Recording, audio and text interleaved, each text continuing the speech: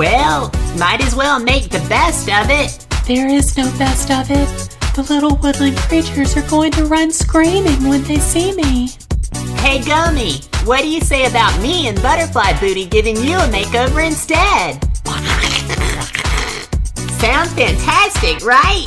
Now, what do we have here? Ooh, ooh, ooh! I have an idea!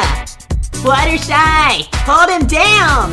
Um, I don't know about this. Just do it!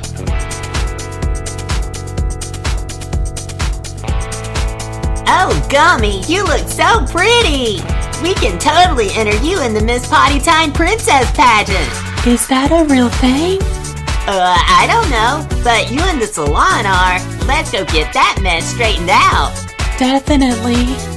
Hey, it's the Calico Critters Deluxe Bathroom. This set is in the $20 range and contains just about anything you could possibly want to create a bathroom scene. It is perfectly on scale with 3 to 4 inch figures and contains a ridiculous amount of teeny tiny detailed little accessories. And to be so small, these things are crazy lifelike, which is always, always amazing. The set comes with two bath toys and a step stool and a vanity with a built-in sink and cabinet. Wow, Pinkie has everything! Yes, she does. Two cups with toothbrushes, a soap holder and soap, a super detailed sink, and the cabinet doors open to reveal a pipe. And here's the bath station with floor tiles. There's a working shower curtain and hold on a second. Hey, I'm naked!